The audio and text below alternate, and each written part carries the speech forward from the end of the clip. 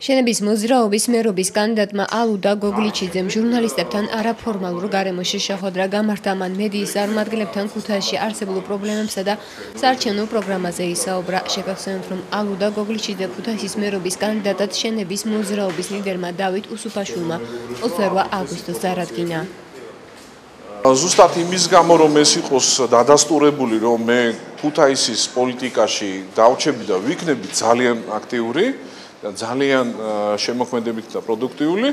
ამის ყველაზე კარგი დადასტურება იქნება, რომ მე ვიქნები სიის პირველ ნომერი.